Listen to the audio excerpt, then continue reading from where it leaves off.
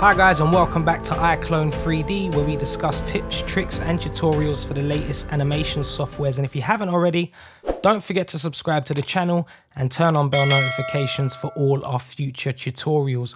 You can also follow me on Instagram at iClone3D. If you'd like to donate to the channel you can use my PayPal email below and any donations are greatly appreciated. Now without further ado, let's crack on with the tutorial. So we're going to be looking at volumetric lighting and how to get lights to kind of shine through the windows in front of us if we wanted to do that for kind of a cinematic effect. Uh, very quick, very simple. So firstly, we're going to load up the scene and uh, we're going to want to just turn off all the lights in our scene. So uh, we'll go here and we'll turn off every single light in the scene. And then we'll go into our visual tab and we'll turn off the IBL lighting and that will give us complete darkness. Now we're going to create a light, uh, preferably a point light, just to save a bit of time. Um, we're going to use this to kind of just get a basic lighting in the room. So we're just going to move that over here. It can be a bit, so just bear with me while I fidget around trying to light up the room. Okay, brilliant. So we've got a little bit of light going on now. And uh, I don't really want it to interfere too much with the window lighting. So I'm just going to drag it about here. And we're just going to duplicate that by holding control and then dragging that along and that will make another light. And we're just going to bring that to light up kind of, uh, yeah, here, perfect.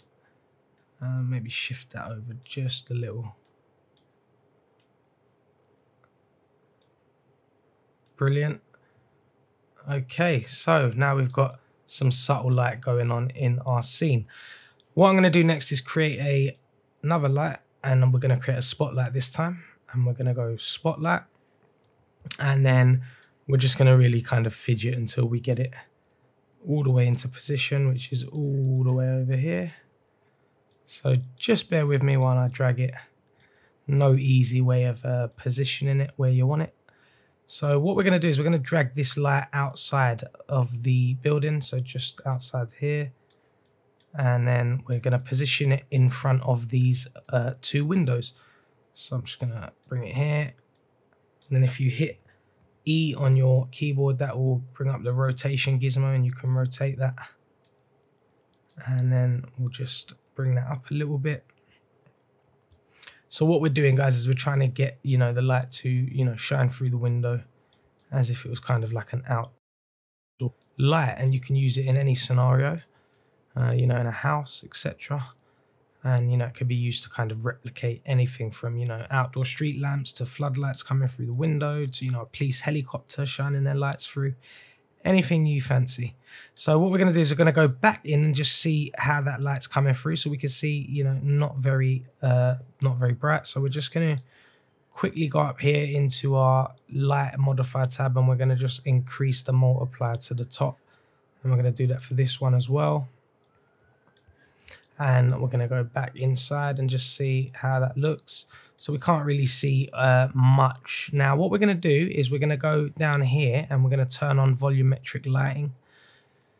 So if I just uh, scroll down, I should see that somewhere here. Here we go, volumetric lighting. So we'll just turn it on. And now you can see, you know, this kind of um, faint sparkle coming through. So what I'm going to do is just position that a little bit closer to the window. Preferably about there. And now we can see we've got some light coming through, but it doesn't look very tidy. So what we can do is we can just bring that through a little bit more. And then there we go. We can now see that comes through quite perfectly. And it's quite intense. So we're just going to go up here and we're just going to bring down the multiplier quite a lot because we don't want it so intense. And now what we're going to do is instead of um, fidget with that one, we'll just hold control and drag this along here like that. Put that into position. Uh, we can also hit E and just rotate it a little bit to position it how we please. But effectively, now we can see we've got this really cool effect where the lights come through the window. And I'll just do the same thing for the top up here. So I'll just drag that along bring that up there. And then we can go into our scene tab and we can just turn these lights off so we don't see them in the scene, just so we can see how that looks. And effectively, we've now got some lights coming through the window, which looks really incredible. So we can go on these again and we can, um, you know, you can play around with uh, the strength, etc.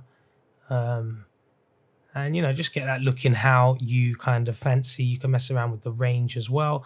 So, you know, that makes it come through a lot more. And you can see some reflection now starting to show off of the, you know, the windows and the frames. You can see that coming through there and looking really, really cool. So, you know, it's a really cool uh, trick, really a great way to get some, you know, amazing lighting in your scene. And as you can see, it really does set the atmosphere of this wonderful church here.